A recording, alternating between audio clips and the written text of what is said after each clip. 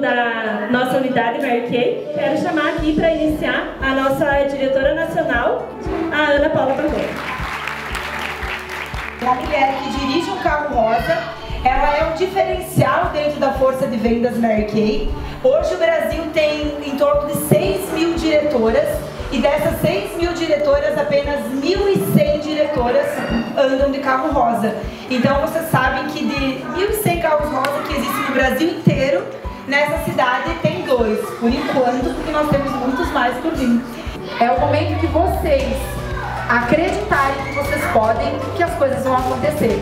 E nós planejamos, e agora a próxima meta da Karine é ser minha colega diretora nacional. E ela está muito encaminhada para isso e eu tenho certeza que no próximo ano nós teremos uma conquista muito maior para comemorar, como a primeira diretora nacional então, de Canoinhas. Então eu quero que vocês recebam em pé,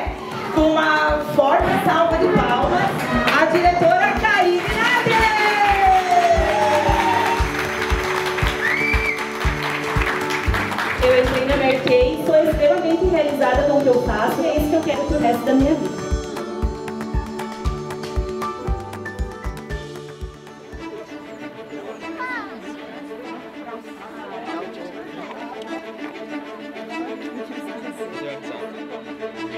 Estamos aqui por um grande motivo, né? E o que todo mundo quer ver é qual é o carro rosa. Então, Karine, que seja o primeiro de muitos, queria te entregar a chave do teu carro rosa. Parabéns!